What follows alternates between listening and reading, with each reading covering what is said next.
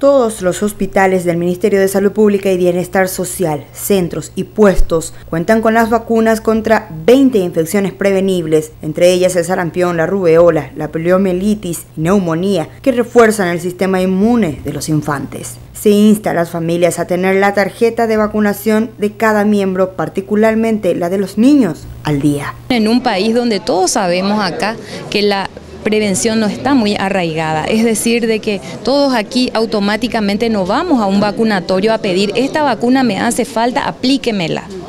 Entonces, ¿cómo se logran estas situaciones particularmente en nuestro país?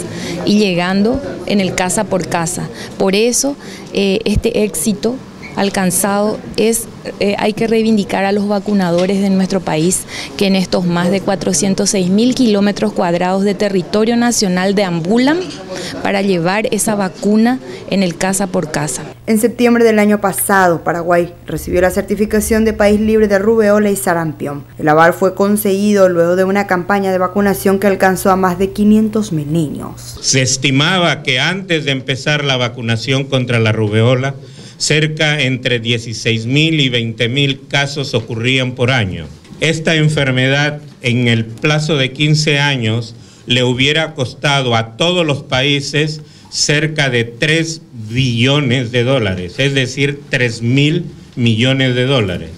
Sin embargo, con inversión de 270 millones en toda la región, se ha podido eliminar esta enfermedad.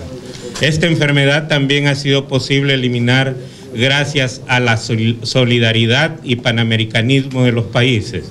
¿Qué significa esto? Que cuando un país necesitaba de otro, realmente recurrían. Con imágenes de Huesasi, informó Lorena Ponte para ABC Color.